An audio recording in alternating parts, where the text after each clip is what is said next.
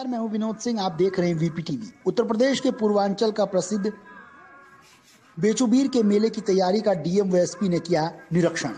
आगामी 28 से 31 अक्टूबर तक चलने वाले मेले का बेचबूर धाम पर पहुंचकर तैयारी की समीक्षा की गई। इस दौरान डीएम ने कहा कि मंदिर के आसपास किसी भी प्रकार की कैंप न लगाई जाए। आने वाले श्रद्धालुओं को किसी भी प्रकार की परेशानी न हो पाए। साथ ही उन्होंने अपर मुख्य जिला अधिकारी पंचायत को निर्देशित दिया कि भीड़ को देखते हुए मंदिर के पहले ही पार्किंग की पूरी व्यवस्था की जाए, ताकि मेले के दौरान यदि किसानों के फ़सलों का नुकसान होता है तो उसकी भरपाई मेला के व्यवस्थापक द्वारा की जाएगी। इस मौके पर ज़िले के सभी विभाग के अधिकारी भी मौजूद रहे।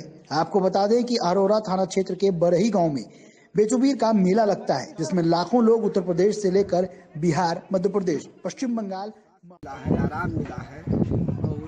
बहुत बड़ी उपलब्धियाँ मिली हैं। जैसे बाल बच्चे किसी को नहीं है भूत प्रेत का व्यवधान है कोढ़ किसी को हो गया है वो सब चीज़ों का यहाँ निदान होता है। बाबा के दरबार में अपने आप ही जो है कि बाबा की कृपा होती है लोगों को विश्वास मिलता है आराम मिलता है और रोग व्यवधान कैंसर तक के रोगी हैं। बेच कि हम छठवीं पीढ़ी है और हम जो है कि बेचूबीर के बाद से हमारे जो है कि सेजरा है हमारे पास पूजा लोग करके आ रहे हैं हम उन्हीं के औलाद थे और शिव जी के भक्त थे और जो है कि शिव जी के आशीर्वाद से उनको कृपा मिली है और जो है कि उनके आशीर्वाद से लोगों का कल्याण होता है। बता रहे थे। चुबीर जो है कि शेर से तीन दिन तीन रात तक लड़ते रह गए और इसी में उनकी मृत्यु हुई है।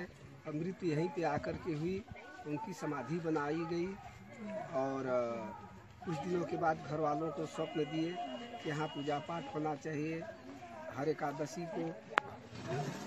मतलब साल में एकादशी को जो है कि मेन पूजा है इनका और एकादशी के रात में यहाँ पूजा होता है, अक्षत प्रसाद बढ़ता है, वही अक्षत प्रसाद लेकर के लोग चले जाते हैं। के लिए जो है कि गाजीपुर जौनपुर गुजरात महाराष्ट्र दिल्ली कलकत्ता बम्बई हर कोने से। लोग आते हैं। बताए पहले? लगभग करीब पाँच छः लाख की भीड़ होती है।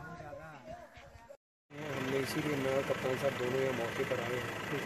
और हमने समझ लिया है क्षेत्र को और उसके बाद जो भी अन्य प्रशासनिक व्यवस्थाएँ की जाएँगी उसके समुचित निर्देश दे दिए गए हैं।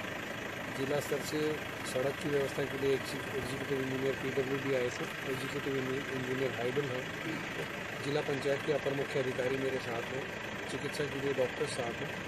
हम सारी व्यवस्थाएँ मुकम्मल कराएँगे और मैं आशा करता हूँ कि गत वर्षों की बात इस बार भी बहुत सफल मेला होगा और आम जनता को कोई समस्या नहीं। सर विधि व्यवस्था में सर यहाँ मेला क्यों लगता है यहाँ? या भूत प्रेत वाला बाल बच्चे नहीं जिसको होते हैं बाल बच्चे छोटा बिरादरी आन बिरादरी बहुत आते हैं। कब से लगता है मेला? अरे हमने के बाप दादा के समय से लगत बा बहुत सारा बीस चालीस बरिस होत। एक काग दू पूछ तभी तक